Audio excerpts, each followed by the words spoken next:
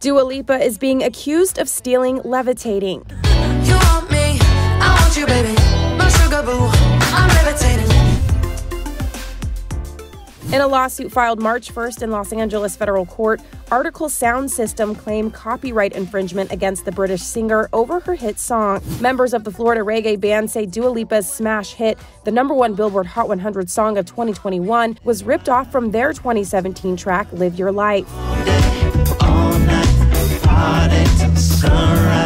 While the complaint was very short with little detail about how the pop star allegedly copied the song, it said the two tracks were so similar that it was, quote, highly unlikely that Levitating was created independently. The band released Live Your Life on its 2017 EP, Smoke and Mirrors. Levitating, released in 2020 on Dua Lipa's second studio album, Future Nostalgia, peaked at number two on the Hot 100 and has spent 68 weeks on the chart, becoming the longest running top 10 song ever by a female artist. For more on this story, head to Billboard.com. This is Billboard News.